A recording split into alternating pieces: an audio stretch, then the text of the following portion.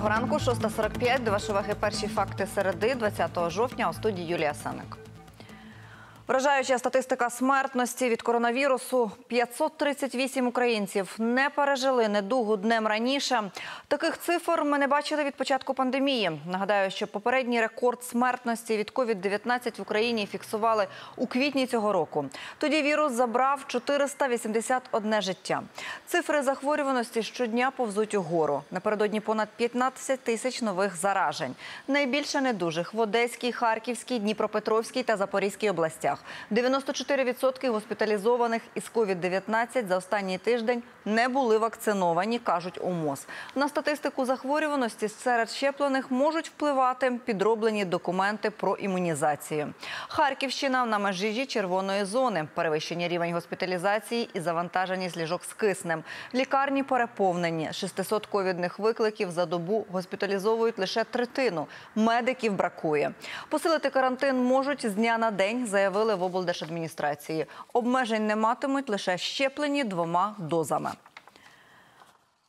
Це дасть можливість як працювати колективам, які будуть вакциновані 100% під час червоної зони, так і для відвідувачів. Е, Будь-які е, об'єкти харчування, проведення масових заходів, спортивні центри і колективи мають бути вакциновані.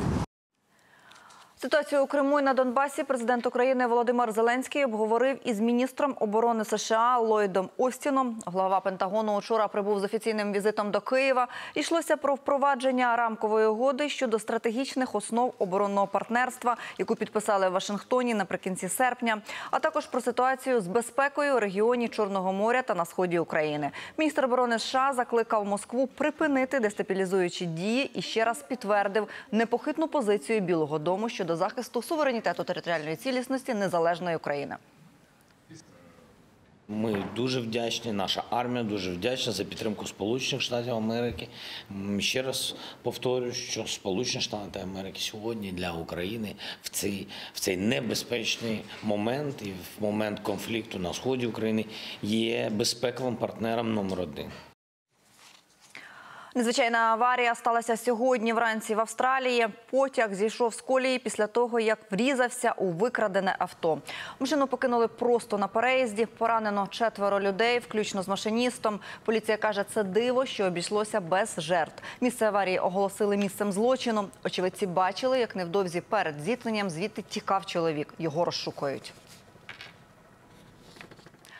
До кінця цього робочого тижня на трасі Київ-Одеса обмежать рух автотранспорту. Про це попереджає патрульна поліція Київщини. У зв'язку з будівництвом транспортної розв'язки ускладнений рух буде на 15-му кілометрі автодороги Київ-Одеса. У поліції зазначили, проїзд буде організовано однією смугою зустрічного напрямку. Тож, вирушаючи у дорогу, зважайте на можливі затори. Донецький шахтар розгромно програв у третьому турі групового раунду Ліги чемпіонів УЄФА на НСК Олімпійській напередодні увечері. Гірники п'ять разів виймали м'яч із сітки власних воріт від мадридського реала. Гру українці розпочали непогано, навіть певний час володіли ініціативою. Втім, іспанці створювали більше моментів, до того ж гостріших. До перерви ми не дотерпіли. На 37-й хвилині подачу з флангу у власні ворота зрізав Кривцов 0-1. А от після перерви Реал розійшовся. Мадридці двічі забили за 10 хвилин, а рахунок спинився на 0-5. Це друга поразка гірників у нинішній лізі чемпіонів. І поки ми останні у групі Ді. Нагадаю, сьогодні свій матч у лізі чемпіонів зіграє Динамо Київ. Кияни в Іспанії протистоятимуть Барселоні. Сьогодні в Україні потепліє, буде сонячно по усій території. В західних областях уже до 17 градусів у день. На півдні коливатиметься навколо позначки плюс 15. У центрі країни до 14 вище нуля. А на півночі прохолодніше до 12 з плюсом. Утім, завтра, за прогнозами синоптиків, стане ще тепліше. Сьогодні ж у столиці без опадів і 12-14 градусів у день.